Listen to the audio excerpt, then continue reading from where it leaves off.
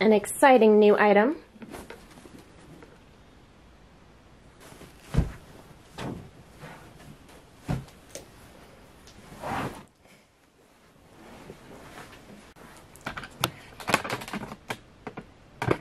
Silly goose. If you suffer from chronic migraines, you've probably gotten the advice to take a hot bath and do some journaling before you go to bed. And while, yeah, and while yes, those things can be nice to do before bed, let's face it, that's not the most practical solution for an actual nighttime routine for a busy mom who gets chronic migraines. It's just not. And for me, as a migraine mama, it's not necessarily because of the time, although that's sometimes a factor, but it's also about the energy that it takes and the spoons. It's so stimulating, and then I also need a shower after. So it's just not realistic. So today, I'm excited to share with you a gentle but effective bedtime routine that does help me find relief, but also doesn't totally drain my energy. This routine is flexible enough for migraine and motherhood, but still consistent enough to gently guide me into a restful night's sleep. And of course, we'll be mentioning a special tool in our arsenal, which is Cefaly, a game changer for managing chronic migraines. Let's get to it.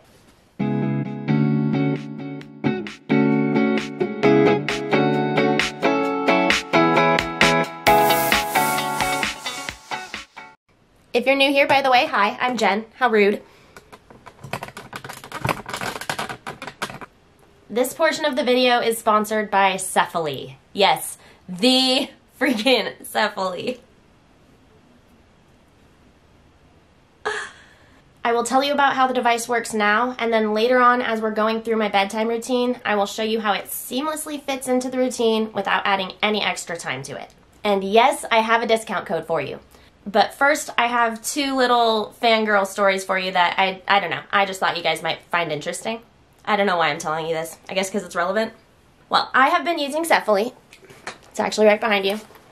Since 2018. This is my old Cefaly. Look at it. And the first fun story about the Cefaly is that when I started my whole channel and my blog and everything, and I actually had a Pinterest at the time, the only pin that I put up was about Cefaly. And then I dropped that. I decided to become a YouTuber before I ever. That's a side story. But yeah, Cefaly was the actual first thing that I decided to share when I decided I wanted to be a migraine influencer. I hate the word influencer. Super interesting. Fun story number two I never in a million years thought that I would actually become a partner for Cefaly, but about a year or maybe two years ago, I actually got reached out to by a competing device company and I turned them down before we even got into negotiations because I'm already a Cefaly user. So fast forward, oh, and let me show you the new one. New one's different. Come on, focus, focus, focus, focus. There we go. The new one is prettier. It honestly feels better, and it's Bluetooth connected and a bunch of other things, but I digress again. Where are we? Here's the science behind Cefaly. People with migraine have hyperactive nervous systems. We just overreact to certain stimuli, and that causes a lot of our neurological pain and dysfunction.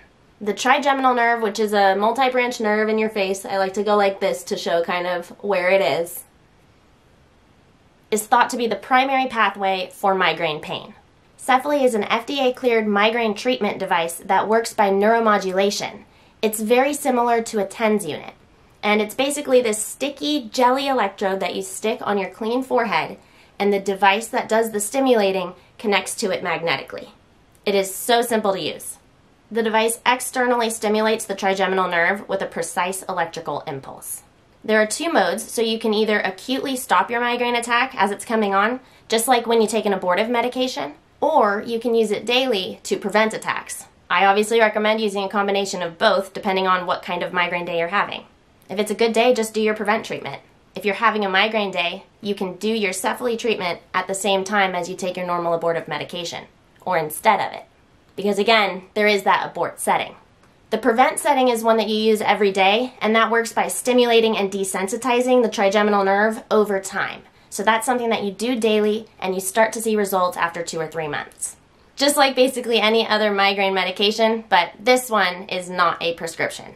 Since it does take two to three months of stimulation to get that desensitization, Cefaly stands behind their device with a 90 day guarantee. I have two more interesting notes about Cefaly. First, Cefaly is safe and effective with no serious adverse events reported on any clinical study. And two, no prescription needed. No prescription needed. And bonus three, they do have payment plans. So at last, you can treat your migraine attacks without that nasty grogginess, side effects, and all sorts of other things that come with some of those medications that we've all loved. And like I said before, it adds virtually no time to the bedtime routine. So let me know in the comments below if you've tried it or if you'd like me to make a whole dedicated video on it. But in the meantime, go check out my link, get your 15% off of your Cefaly device. Don't let migraine keep you from doing the things you love. Oh my gosh, in between takes, I just had this flashback to when I was in Taekwondo, but I was getting migraines. I would go to college. After college, I would go to Taekwondo, get there early, and lay there in the office because I was dating the instructor. He's my husband now. I would go lay in the office and do my Cefaly immediately before my Taekwondo class so that I would be able to get through my Taekwondo class. I miss Taekwondo. Okay, um, let's get to the bedtime routine. Okay, migraine mama. If we want less stress, less migraines. Wow, there's a studio light in the frame. Oh, we're friends. Okay. If we want less migraines, we need to nail the basics. And I did make a whole video about that. I'll put a card here. But doing a good morning routine and a good night routine are great ways to set up the beginning and the end of your day for success in managing your own stress. So, how can we regulate our circadian rhythm with that super important bedtime routine without adding 60 steps and a bath and a mocktail and journaling with hands that don't even work? So, congratulations! The kids are in bed. It is your turn to do your bedtime routine. Step number one, my step number one, is get yourself and your environment comfortable. The first step in our gentle nighttime routine is to prioritize your own comfort. Put on your favorite pajamas, maybe slippers and or compression socks. I have a couple of sweaters that are the material of blankets that I like. I also like a couple of blankets that are very vaguely cut like sweaters. These are the kinds of things that I do wear during the day, but I'm sure to bring out at night to make myself feel really cozy as I'm getting ready for bed. All you're doing is signifying to your body that it's time to start winding down now and that it's okay to start winding down now. Because as a mom, we are so we're just go go go go go go go all the time. We're going going going, always thinking. And having that physical change of attire, that physical feeling of change can help tell your body, all right, we're relaxing now. We're getting into that settling mode. That is key for promoting relaxation and a good night's sleep. And don't forget that temperature is important too. On a migraine night, you might want thicker PJs or you might want to adjust up your thermostat. If you hate having surprise migraine nights, migraine alert dog. Here's a video about mine. Step two, tidy up for a stress-free tomorrow. And I'm not talking about doing a whole house clean like we see on those crazy reels. I'm talking about doing just enough that it'll make a difference for your morning, but not enough that it's gonna come back to bite you. You understand? So put away items that may cause visual clutter or visual stress when you wake up. For me, that's my nightstand, first thing I see when I wake up, and also the kitchen because it's the first thing that I walk into when I go down the stairs in the morning. The way that our floor plan is laid out, you kind of like you go in and you go around the corner and then it opens up to a great room that has the living room and the kitchen all connected. So having my nightstand clean and the kitchen clean in the morning helps with that visual clutter, the visual stress. Waking up to that kind of peace really does impact your mood and your mental well being. The lighter morning load also leaves you more ready to face the day ahead. But if you're running out of spoons at this point in the bedtime routine, then it might be time to prioritize getting to the next steps.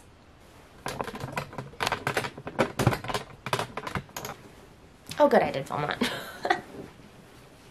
Step four. Are we on four? Step three in my bedtime routine is preparing a migraine friendly snack. We all have migraine triggers, obviously, avoid your migraine triggers. But for everyone, and especially those of us who get chronic migraines, it's really important for us to try to maintain stable blood sugar levels. So every night I do a full meal at around 9 p.m. so that I don't wake up absolutely starving at around 4 a.m. Right now I'm breastfeeding, so that makes a lot of sense, but even when I'm not breastfeeding, I suffer from a good bit of malabsorption. So I just don't absorb everything that I eat. I get very hungry very quickly. I'm not in the market for advice on this right now, thank you, because I'm already working on it. But for the sake of my bedtime routine right now, I do a big meal before bed. For most migraine people, it's recommended to just do a smaller snack if you need one and to prioritize protein. I'm hesitant to give recommendations for foods because everybody's a little bit different, but the things I see online tend to recommend things like nuts, yogurt, or a banana with nut butter. Again, working around your own sensitivities, triggers, and allergies. Talk to your doctor. Other good options for things to have at nighttime if you just need something in your stomach are sleepy time teas. I know I said I'm not going to talk about mocktails and cocktails and all of that, but I do sometimes do a magnesium drink before bed if I didn't get to it earlier in the day because I actually prefer my magnesium in the late morning. Um, lost my train of thought again. Oh, and I actually I have a whole video about how I take my magnesium. And at the time that I made that video, I had not yet tried the chai, but I ended up trying the chai flavor and I loved it and I was putting it in my coffee all the way until I ran out of the bag. So I do recommend that drink that I was about to try when I filmed that video. Another great option for nighttime drinks are um, protein drinks. I do a protein shake most nights now because it's chocolatey and I'm hooked. I'm a creature of habit. So I get that protein boost in a milk that's safe for me. You know that I also sometimes have Huel at night, which is a complete meal replacement drink. So that's also an option. Something to keep that belly full. Okay, um, now just now I will foreshadow, just in case this helps you. Steps four through six are a 20 to 30 minute relaxing time, followed by a break in the middle to do my bedtime productivity, and then another 20 to 30 minute relaxing time. Breaking up the routine like this keeps everything more manageable for me, for my stimulation levels, for my exhaustion levels at that point of the day, and I also have POTS, so it's difficult for me to stand up for too long, and adding the laying down breaks in between the tasks just helps me manage it better. My service dog does also help me with POTS, so here's a video about him doing service dog POTS tasks. And by the way, if this video in general, this topic is helpful for you, please give the video a thumbs up. It really does help my channel and consider subscribing. Thank you.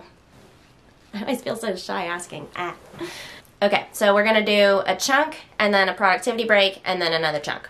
Chunk number one is step number four, the real step number four this time, and that is, and that is consuming the snacks, doing a little bit of light stretching, and then maybe some Netflix by lamplight.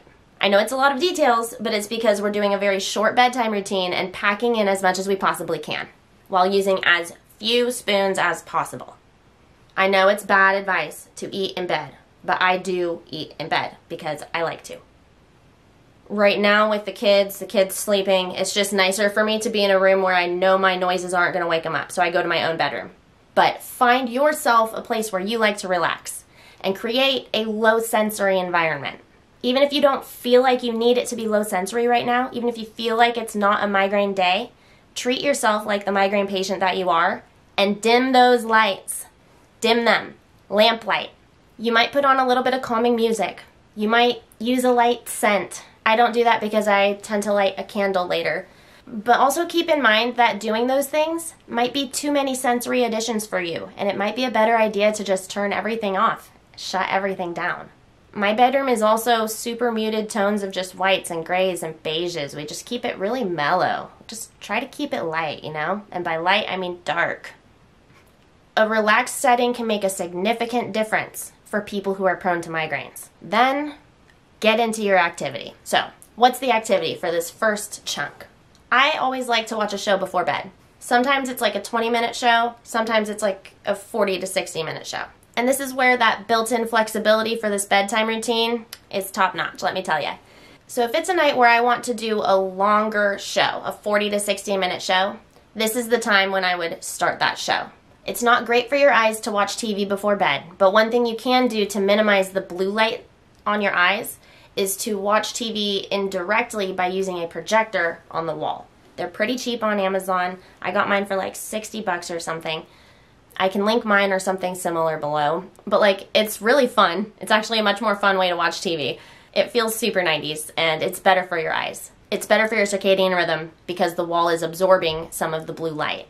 During the first half of this longer show, the 40 to 60 minute show, I am also eating those snacks that I prepared and I am savoring them in ways that I don't get to savor them when the toddlers are around. I also incorporate gentle stretching before bedtime. So, literally, what this looks like is I'm sitting in bed. The foot of my bed has a bench that has the projector on it, and the projector is on the wall. I have my snacks, I have my leg out, and I'm doing some stretches and just watching some TV by lamplight. After snacks, I have a flosser on my nightstand, and I sit there and I chew on my flosser, and it kind of is like a it's like a fidget activity. I'm telling you, watch TV holding a flosser, you will inevitably floss the heck out of your teeth. Can you guys hear Buddy barking outside? Service dog by day, buffoon by night. Okay, so about halfway through that longer show, or whenever I feel like I'm done with my snacks and flossing, or whenever I'm done with the activity I did if it wasn't a show. Maybe I'm talking to my husband, I might do a Bible study. I'm in a couple of groups right now. I don't know, I might YouTube or doom scroll or whatever. When I'm done with that step four first chunk activity, it's time for the middle time break where I get back up and I do my productive bedtime routine stuff before I go and finally finish winding down for the night. Step five is my bathroom bedtime routine. And it's those simple daily hygienic things that are just absolute non negotiables. So I do my final pee break. If I feel up for it, I brush my hair, but not always. I brush my teeth. I wash my face. And then I do not apply lotion yet because now it is time for Cefaly. At that point,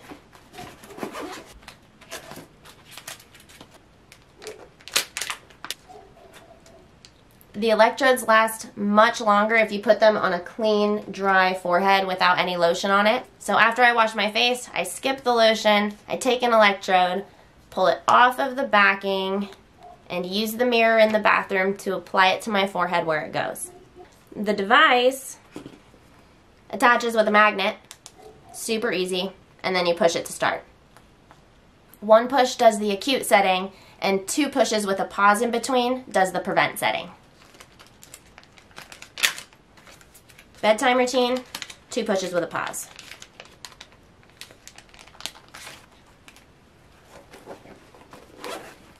Oh, it's my hair. Ow. So, one reason this rhythm works so well for me is because, well, 90s. I feel like this is the bedtime routine that I was raised on we grew up with commercial breaks. And so my family had shows that we would watch before bed. And during the commercial break, we would run and go put on our jammies and then go back. Or the next commercial break, we would run and put on our PJs and come back. And I really love that this bedtime routine kind of simulates that pattern.